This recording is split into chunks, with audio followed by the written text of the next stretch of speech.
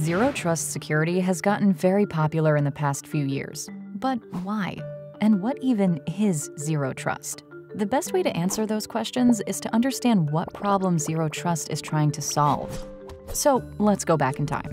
The year is 2005, and our friend Joe is at work in his company's office.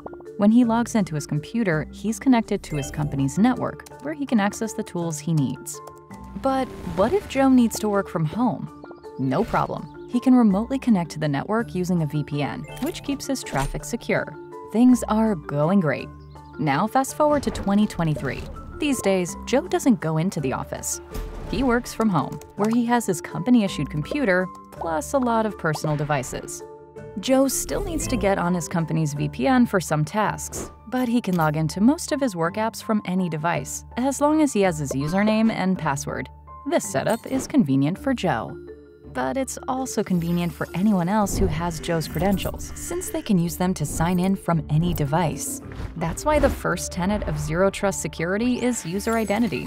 To be sure a user is who they say they are, companies use multi-factor authentication that's tough to phish. They also monitor traffic for suspicious activities, like a user logging in from an unusual location. With strong authentication, we're confident that Joe isn't a bad actor, but he can still let hackers in and sensitive data out thanks to all those devices. Hackers can take over Joe's personal devices by infecting them with malware, or they can go the old-fashioned way and literally take them.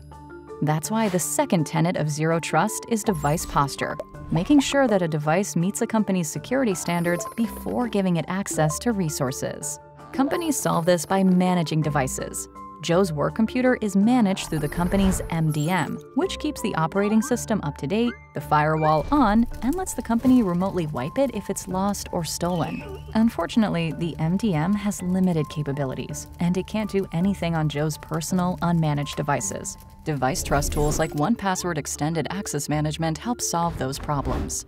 Finally, even with tools that solve for user authentication and device posture, hackers sometimes get in. At that point, the company's goal is to limit the damage an attacker can do. So the final tenet of Zero Trust is the principle of least access. One way of solving that is role-based access control, only letting Joe access the resources he needs to do his job.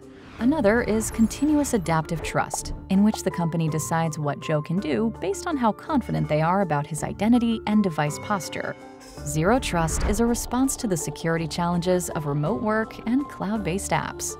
And as long as there are workers like Joe, there will be a need for Zero Trust. If you want to learn more, visit onepassword.com.